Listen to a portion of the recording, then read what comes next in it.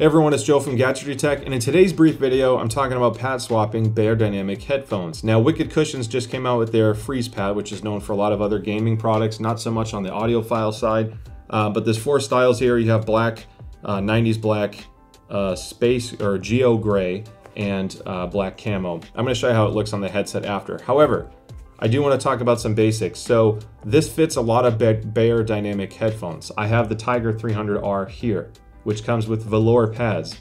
Pad swapping, one of the first things you should ask yourself, aside from comfort or style, um, you know, depending on how important that is to you, is how does a pad affect my sound quality? Pads make the most significant change to sound quality on a headset or headphone because it's like you're changing the room around the speaker.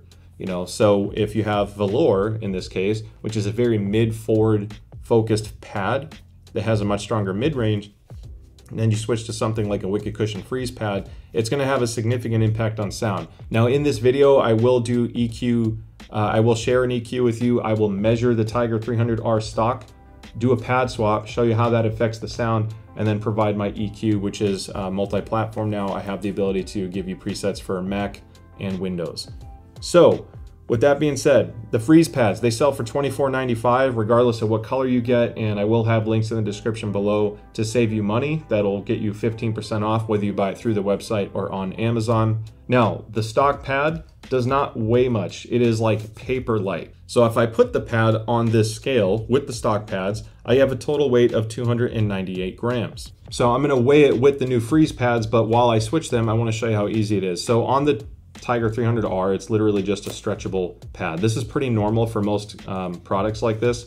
And then you can see this has this leatherette ring. The stock pad, very similar design. This is actually a little bit more compliant. It's a little bit more flexible. And I think you get like, I don't know, a quarter of a millimeter.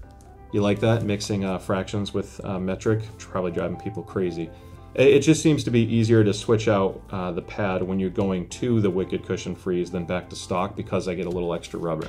So that's all I had to do to stretch that over. I'm gonna switch this one out and I'm gonna show you two measurements. I'll show you just the pad weight difference. Am I going to the right pad here? Yes, okay. And then I'll show you what it does to the headphone itself. That was relatively quick. So I mentioned the weight being under 300 grams earlier. Now I'm going to zero out my scale here, put this back on, and I have 376 grams. That is, or 378 now because I bumped it. so that's no joke. That's literally almost 75 grams, or that's a little over 75 grams, closer to 80 in fact, just on the pad swap. So just to, again, show you that, I'm gonna zero out the scale here. We'll put the stock pads on. They weigh only 28 grams. Now if I switch to the freeze pads and put those on, why did that not zero out? That's weird. Put these back on. 98 grams. So the pads are heavier. Um, this is still not significant enough when you consider how light Beyerdynamic headphones are because you're still under 400 grams. However, I do want to point out the weight change. Now, dimensionally, the freeze pads are almost the same as the stock pads. So measuring the opening here, I'm right about 57 millimeters. And if I go to the inner part of the pad, because the freeze, the stock pads on the TYGR 300 taper inward. So if I go to the smallest opening here, I'm just at 56 millimeters or so before I touch. I guess we're right about 57. So it's, it's essentially identical. Now when I go to the pad thickness, they are again almost identical as well. Right when I touch up against the pad on both sides, here I'm getting 20 millimeters. If I go to the freeze pad here and compress it back down, right when I'm starting to touch, I'm at about 23 millimeters. You're gaining just a slight boost of thickness. And if you look at it from the top down view, you can see there is a little bit of a difference in thickness right there that can be enough for some people because the Beyer pads, at least on the TYGR and, and similar ones with velour, they're notoriously shallow. They have a padded center baffle on the pad because they expect your ear to press against it, which does cause some discomfort for some people. So this doesn't completely eliminate my ears touching the baffle. However, it's more like my ears are just kissing the driver baffle now as opposed to being compressed slightly. That is the most significant improvement I got on comfort, believe it or not. So Velour pads, you don't really sweat, but they do get warm kind of quick, and then that's it. They just stay warm. I actually really like velour pads. The freeze pads, because they have higher thermal mass, they take longer to heat up, but they also take longer to, to cool back down once you take them off because the gel holds a little bit of temperature. So I do like the sport fabric. It feels nicer on my skin than velour, which I didn't think would have been the case.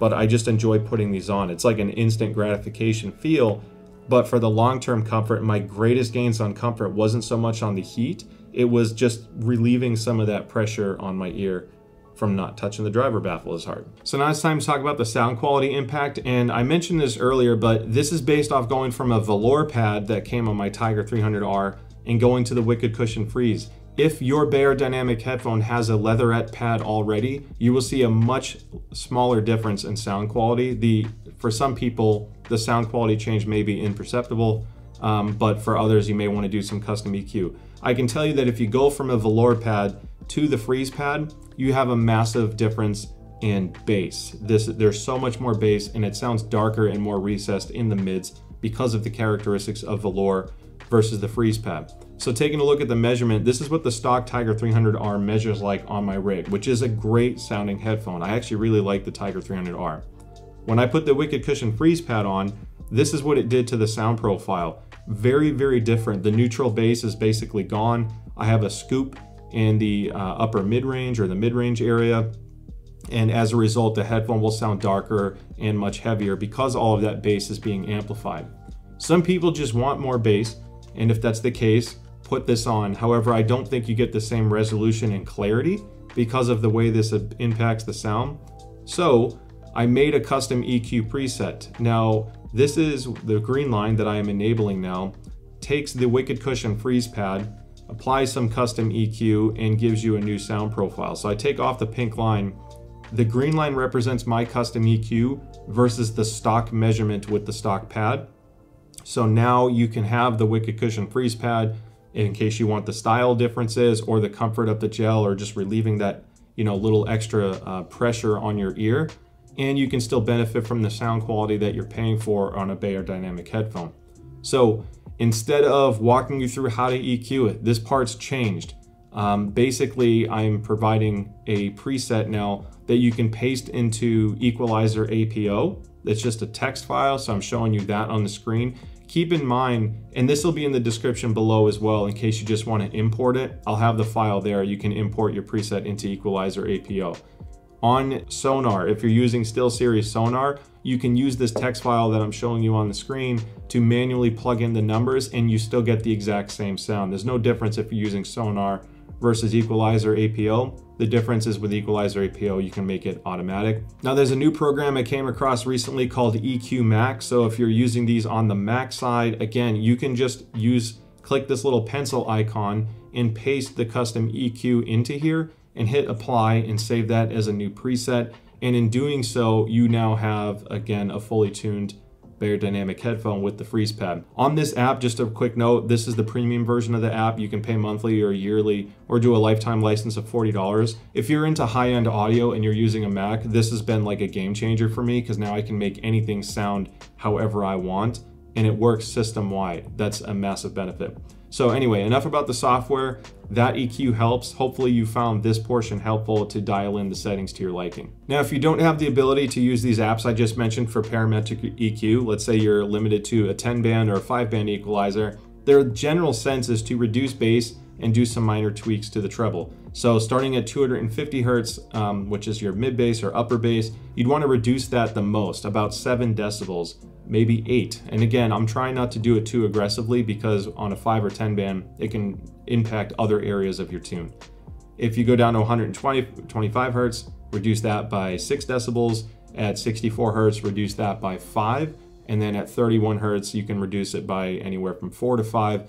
That's going to drastically reduce that elevated bass that you got. Now shifting to the mids and upper mids, it's pretty simple. You only have to touch three spots. Basically boost your 1K by about three or four decibels reduce 2K by 2 or 3 decibels and increase your 4K by about 3 or 4 decibels. I say 3 or 4 because none of this is an exact art. There's not one exact frequency that it has to be for everyone's likings, but I would target that range with that adjustment to get very close to the stock sound and then just make your own tweaks from there to see if you are missing anything to your own preference. So that about wraps up the video. I hope you found it helpful. I Just to keep it simple, if you cannot EQ, I like the sound of the stock pad more with velour, just straight up out of the box. I don't like too much elevated bass, especially for the stuff I listen to and play.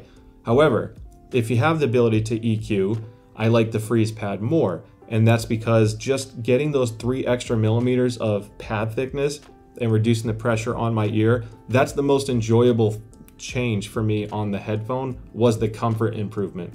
It's not, I didn't notice it as much on a thermal standpoint because velour pads really aren't that bad. They both get warm at different rates and feel different on your ear. However, it's very soft, it's excellent for glasses, and just relieving that little pressure means I can wear these for a much longer period of time. And after EQ, I can still enjoy that classic sound. So Again, I hope you found the video helpful, and as I mentioned, I'll have links in the description below, not only to purchase these and to save you money, you'll get 15% off, but to also find the software that I mentioned and the EQ preset to save you some time. So thank you so much for watching. Don't forget to hit like and subscribe. I'd love to see in the next video. That being said, I'll see you next time. Bye.